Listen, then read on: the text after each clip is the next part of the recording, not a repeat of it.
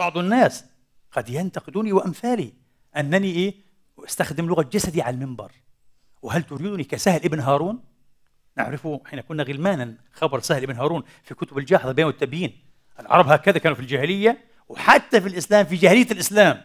إذا خطب الخطيب كأنه إيه جذع لا يتحرك ممنوع أن يحرك شيئا أبدا. النبي لم يكن كذلك لأن النبي كان طبيعيا.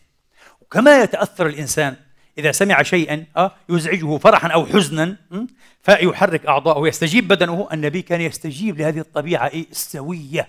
يقول جابر بن عبد الله كان عليه الصلاة وأفضل السلام إذا أوحي إليه أو وعظ خطب الناس بموعظة أه كأنه نذير قوم أتاهم العذاب. في أحاديث أخرى كان إذا كان على المنبر نقول أه سقط به سقط به قد يسقط المنبر. يتحرك ويحرك يديه ويهتز كذا لأنه متأثر بما يقول. رجل صدق عليه الصلاة وأفضل لأنه كان طبيعيا. النبي كان طبيعيا. لا يحاول أن يخرج إيه عن حد الطبيعة السوية طبعا. مش الطبيعة التي تحتاج إلى تهذيب والتي الحضارة تكمن في إيه؟ في ضبطها.